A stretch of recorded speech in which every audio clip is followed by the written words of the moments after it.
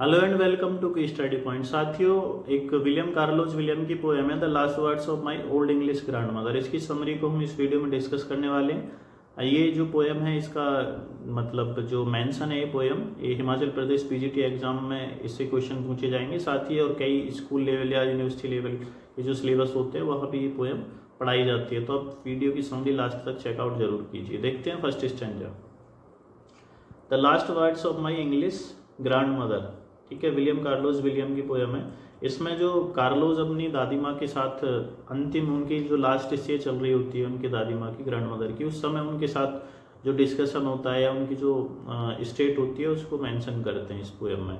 और ये एक यूनिवर्सल मैसेज भी देती है कि लास्ट स्टेज में इंसान के साथ कैसा होता है और जो हर एक ह्यूमन बींग को फेस करना पड़ता है। तो कहते हैं there were some dirty plates and a glass of milk beside her on a small table near the rank with dishevelled bed वो कहते हैं कि कुछ गंदी प्लेटें, एक गिलास दूध का भरा हुआ और जो एक छोटी सी टेबल थी रैंक के सहारे उसके पास रखा हुआ था और वहाँ एक गंदला सा बेड भी था, यानी गंदा सा बेड भी था जिसपे दादी माँ लेटी हुई थी। Wrinkled and nearly blind she lay and snored rousing with anger in her turn to cry for food. Next stanza वो कहते हैं कि उनके चेहरे पे झुर्रियाँ पड़ी हुई थी रिंकल्ड था। और उनकी जो दृष्टि थी वो लगभग खत्म हो चुकी थी, यानी वो लगभग ब्लाइंड हो चुकी थी। जो अक्सर बुढ़ापे में हो जाता है, चेहरा, चेहरे पे झुर्रियाँ पड़ जाती हैं और दृष्टि कमज़ोर हो जाती है, दिखना कम हो जाता है। तो यहाँ पोइट वही चीज़ इंडिकेट करता है। और वो पड़ी रहती थी और खर्राटे लेती थी। जब उनको खाने की ज़रूरत महसूस होती थी, यानी उनको जब भूख लगती थी तो वो खाने के लिए चिल्लाती थी और उनकी आवाज़ में एक, उनकी टोन में एक गुस्सा होता था। Next stanza give me something to eat they are starving me I am all right I want to go to the hospital no no no तो यहाँ पोइट कहता है कि वो मेरे से कहती थी, इस स्टेंजा से ये सेंस बनता है कि वो मेरे से कहती थी कि मेरे को खाना दे दो, वो मुझे भूखा मार रहे हैं। यहाँ दे से मतलब आ रहा है फैमिली मेंबर्स को अदर्स लोगों को जो फैमिली के हैं। तो कहती थी कि give me something to eat मुझे कुछ खाने के लिए दे दो, वो मुझे भूखा मार रहे हैं, मैं ठीक हूँ। जैसे कई बार क्या होता है कि जब हमारी बुज़ुर्ग होते हैं फैमिली में तो उनको डॉक्टर्स कुछ सजेशन देते हैं, कुछ चीज़ों को रिफरेंट करने के बोलते हैं तो हम कुछ चीज़ें उनको देते नहीं हैं। ठीक है? कॉशस हो जाते हैं कि इनको ये चीज़ नुकसान करे या ना करे। तो यहाँ वो कहती हैं ग्रैंड मदर कि मैं एकदम ठीक हूँ और मैं हॉस्पिटल नहीं जाऊँगी। मुझे नहीं जाना है वहाँ। ठीक है? नेक्स्ट स्टैंडर्ड में डिस्क्राइब करते हैं poet give me something to eat let me take you to the hospital I said and after you are you after you are well you can do as you please she smiled yes you can do what you please first then I can do what I please तो यहाँ poet कहते हैं कि मैंने उनसे कहा कि मैं तुमको हॉस्पिटल लिए चलता हूँ। इसके बाद तुम जो बोलोगे मैं वो करूँगा, यानी तुम्हारी खुशी के लिए, जिसमें तुमको खुशी मिलेगी। तो वो रिप्लाई करती हैं पलट के कि स्माइल करती हैं और कहती हैं कि yes you do what you please पहले तुम वो करो जो तुमको अच्छा लगता है, जिसमें तुमको खुशी मिलती है। Then I can do what I please तब मैं वो करूँ, कर सकती हूँ या करूँगी जिससे कि मुझको खुशी मिलेगी, जिससे कि मेरे मन को शांति मिलेगी।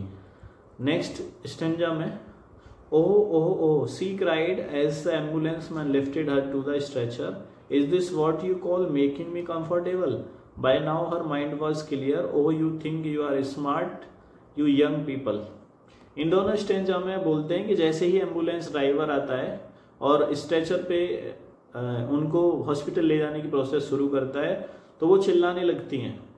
और कहते हैं कि is this what you call making me comfortable वो कहते हैं यहाँ पोइट से कि क्या आ, यही वो चीज़ है जिसके थ्रू तुम मुझे कंफर्ट देना चाहते हो आराम देना चाहते हो। यानी तुम मेरे को हॉस्पिटल ले जाके आराम देना चाहते हो यही चीज़ है तुम्हारी यंग मैन तुम अपने आप को स्मार्ट समझते हो।